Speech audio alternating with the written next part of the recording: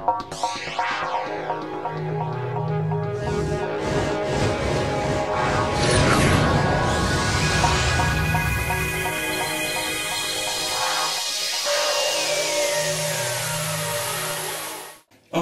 didn't see you there. Ah, got a little surprise for you guys. I got this epic, epic headset right here that I'm gonna do a video review on.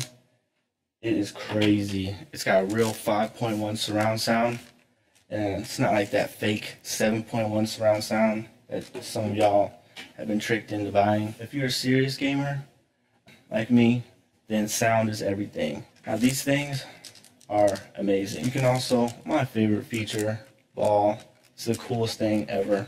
The side parts right here, you can pop it open. They both sound really great.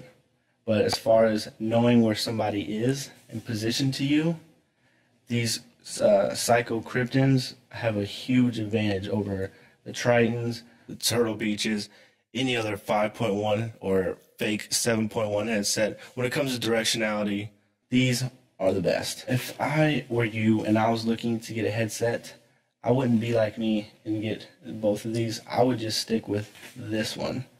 The whole reason you get a gaming headset is for the leading edge over the other people. And this right here is kind of like cheating. It's like you have to get a 5.1. Trust me, save up the cash and get this. Psyko hands down is the best. I promise you.